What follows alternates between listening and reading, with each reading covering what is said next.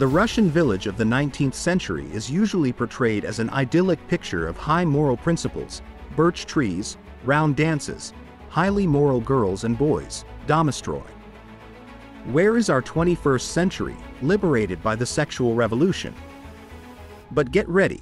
What really were the morals in the Russian village you can simply shock, and notes of ethnographers of the 19th century will make many guardians of morality blush. Today we will talk about the intimate life of Russian peasants of the 19th century. How to make love in a hut full of people. What will amaze you about the games of the village youth?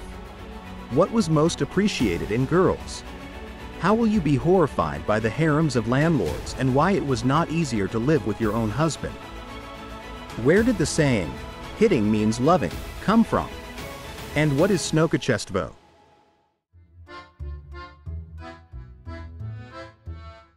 So, meet our heroine Olga Semyonova Tyan-Shanskaya, daughter of the famous traveler and geographer. She was still very young when the boy artist in love with her committed suicide because she did not respond to his feelings. The girl was devastated and only a few years later fell in love herself. It was also an artist, a friend of the family who taught her brothers and sisters to draw.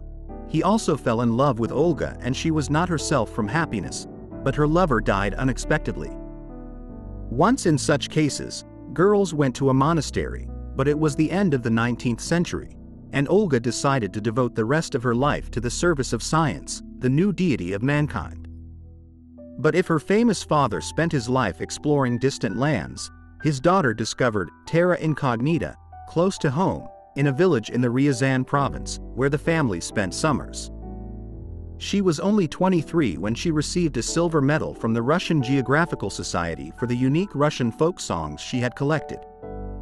After that, she plunged headlong into collecting ancient festivals, rituals and fairy tales, saving them from oblivion. But the most famous was her other ethnographic project. At the turn of the century, together with another ethnographer, Konstantin Nikolevsky, she decided to study and describe the authentic life of Russian peasants, including their love life. The researchers threw themselves into the people. They did not yet know that this work would require great fortitude, and the results would cause a huge shock even centuries later.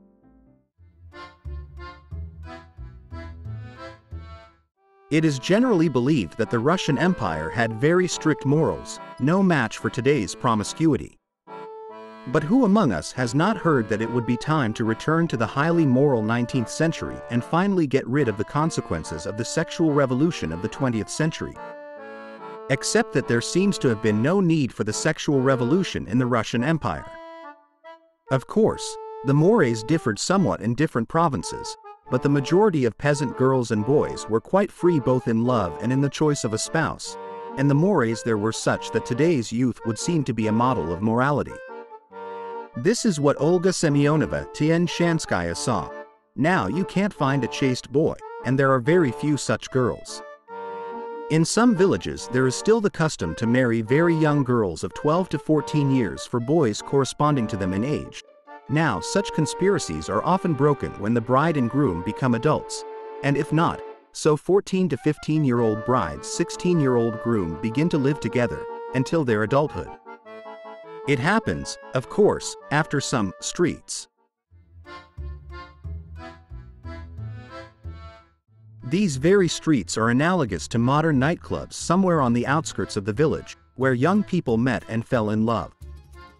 This is how Olga Semyonova Tyan-Shanskaya describes the streets. Girls from the whole village and some young women, especially those whose husbands are away, gather in the street. It usually happens at dusk.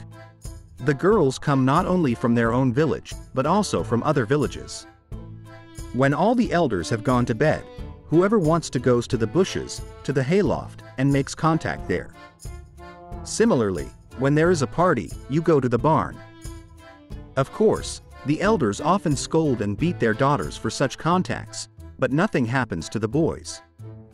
So much for high morals. Not only that, but in villages where it is customary to marry off sons and give away daughters in order to prevent them from making independent choices, young men specially meet with a girl to fix their intention to marry her. father and mother are more likely to agree with the son's choice if he says that there is already a sin between him and his chosen one. Of course, such behavior of young people was treated differently in different provinces. Somewhere, as in the Arkhangelsk province, the innocence of a girl was not given importance.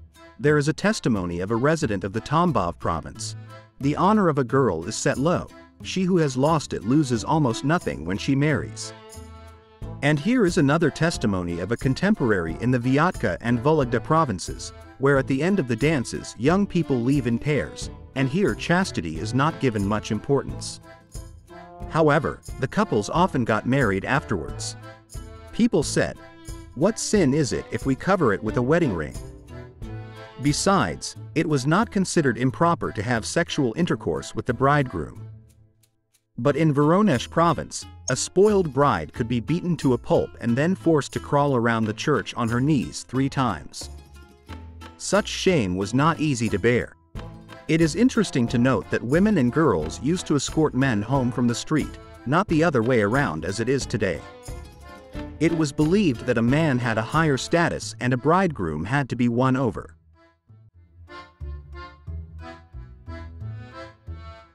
In winter, instead of streets, there were vechorki.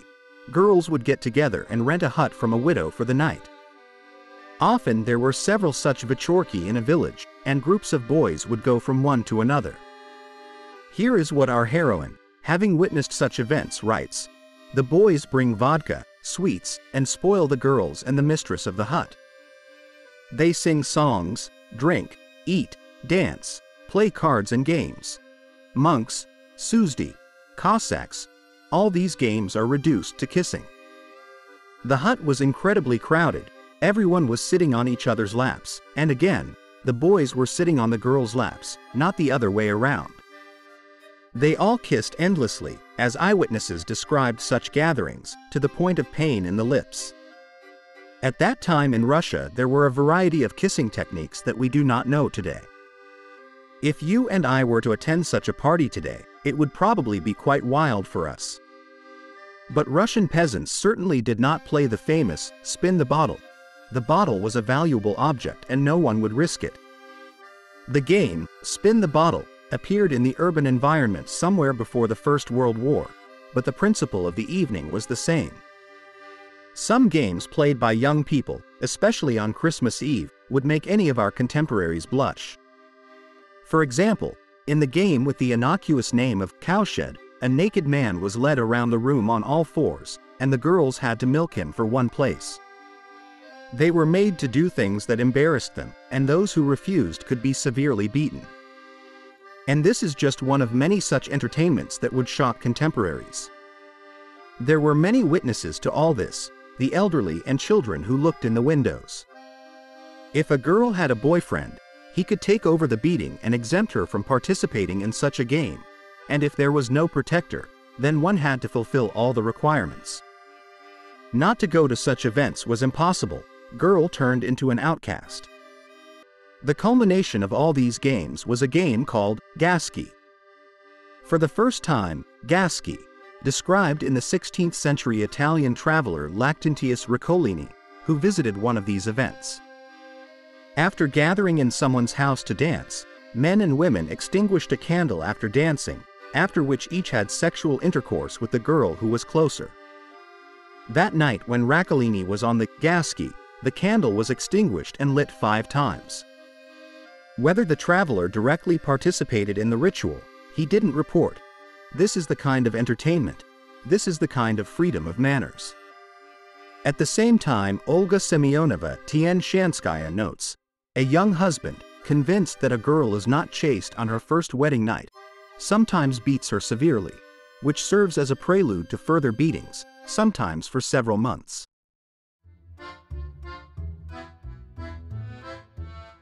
The most important criterion for an enviable bride is the working quality, the more working the better. A girl should be smart, healthy, handy, humble, and work wherever she is told it was said in the village. That's why girls were valued as tall, strong, black-browed. The pale ones were considered sickly, and it aroused the worst suspicion that the young woman would not work well for the good of the family. At the same time, Olga Semyonova Tyan-Shanskaya notes, Women in our region are certainly beautiful, tall and not badly built at the age of 15 or 16. After 16 their figure deteriorates due to hard work. The earlier a girl marries, the more emaciated she becomes. But the most beautiful women are not considered beautiful among the peasants. When it comes to choosing a bride or a mistress, the peasants' tastes are not at all like ours. We like strict or clean lines and contours, while any peasant would prefer a large, blurred maiden or woman. Bridegrooms also like black-browed and tall. But a man older than 6 to 8 years was considered old, and brides, as Olga writes, cry and are unhappy if by parental discretion they have to marry such a man, and their friends laugh at them. Meanwhile, some 18 to 20 year old guy does not think to take offense that his future wife is two or even four years older than him. Also did not like redheads, they were considered secretly treacherous and evil. A 20 year old girl was considered already old. As they said, now the grooms will run away. At the same time, the girl was looked upon in her native family as a labor force, and therefore they were not in a hurry to marry her off. However, peasants got such freedom in choosing a bride and groom after the abolition of serfdom in the second half of the 19th century. Before that, marriage issues were often decided by the landlord.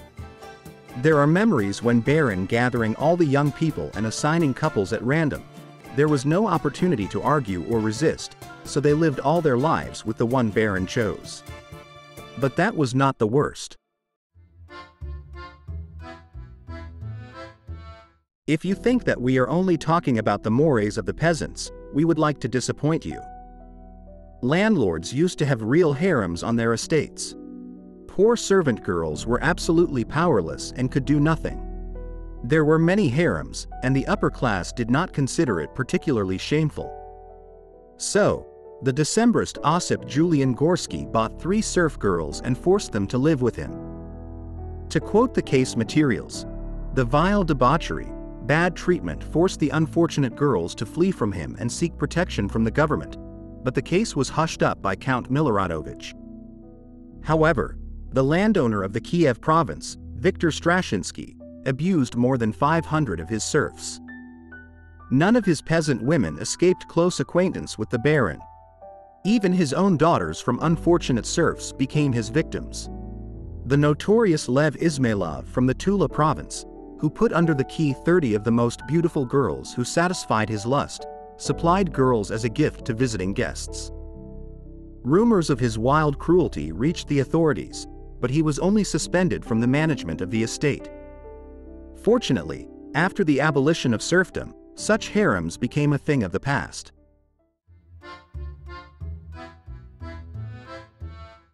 But if you think that now everything is fine for peasant women, they can even choose their own husbands, unlike noble women or merchants, then the horror begins.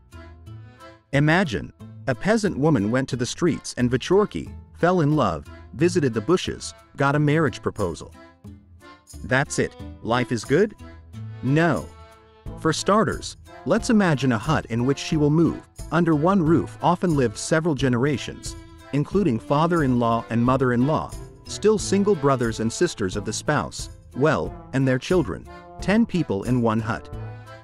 How could there be intimacy in such a collective? All sleeping places were strictly assigned, sleeping anywhere except on the table. But the head of the family and his wife had a private bed.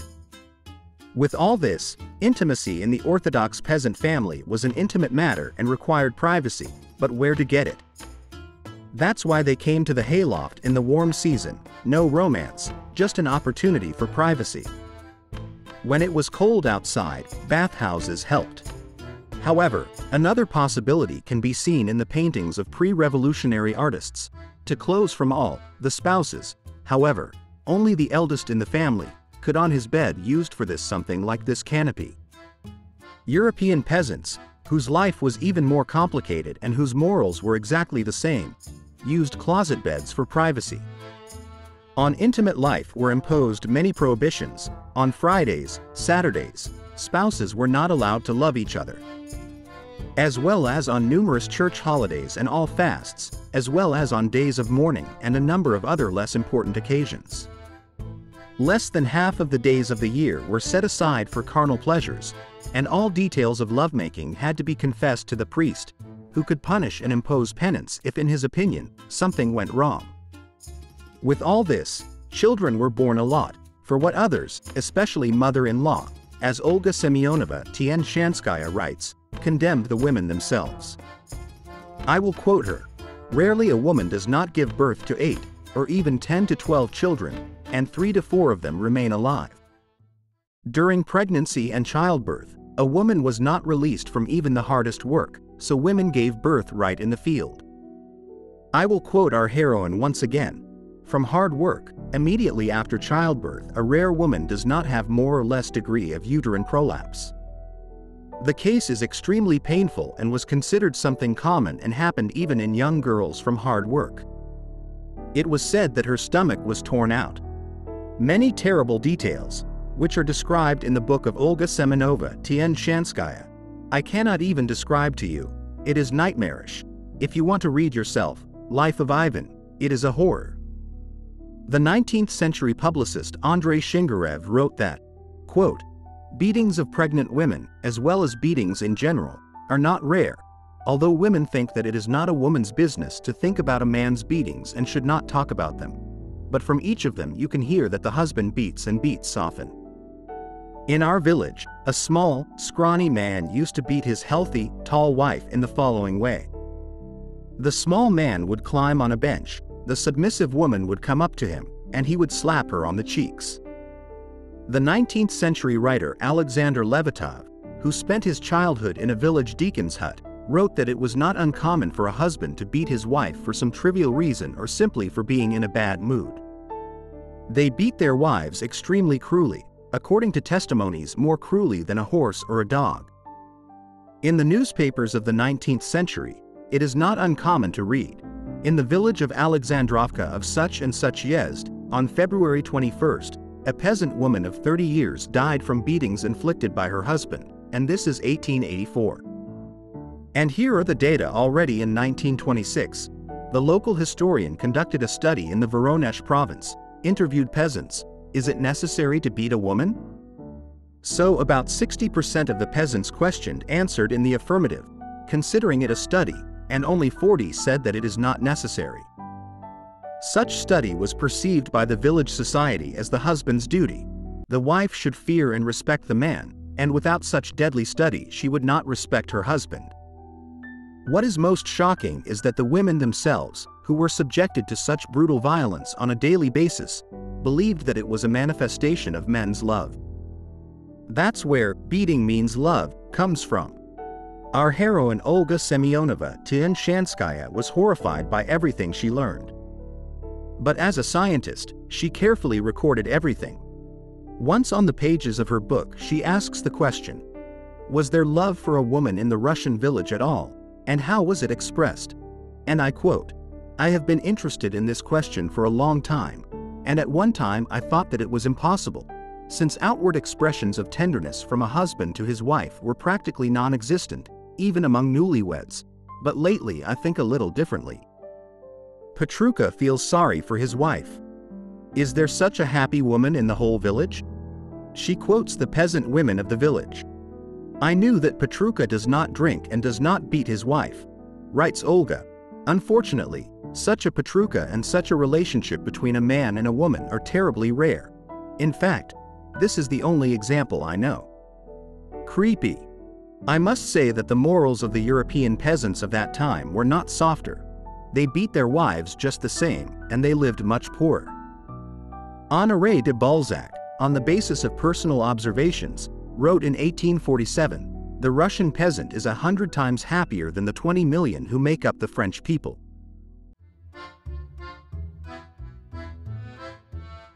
The sacred bond of marriage in the peasant community did not interfere with anything, and extramarital affairs were the norm. The wives of those who served in the army and the wives of those who went to the cities to work in the trades had lovers. Our heroine believed that it was the men's departure for work that corrupted the village. She wrote, A man goes to work and has mistresses there, but a woman can have a lover at home. There is no professional debauchery, but it is very easy to buy any woman with money and gifts. One woman very naively admitted, I gave birth to a son, and all for nothing, for a dozen apples. Olga writes, Women and girls are very fond of going for apples in the orchards of the tenants. Apples are bought, or rather exchanged for eggs, and sometimes for themselves. Such promiscuity is confirmed by the 19th century writer Alexander Engelhardt. The manners of the village women and girls are incredibly simple. Money, a shawl under certain circumstances, as long as no one knows. That's what everybody does. Such amazingly simple manners were not condemned. A lover did not make a woman a libertine. Olga Semyonova Tyan-Shanskaya gives the following definition of a promiscuous woman. A promiscuous woman is a girl or a woman who has several lovers. Such lovers sometimes conspire to teach their mistress. If she is a girl, they smear tar on her gate. And if she is a woman, they beat her, then lift her shirt over her head, tie her up so that her head is in a sack and she is naked up to her waist, and let her walk through the village.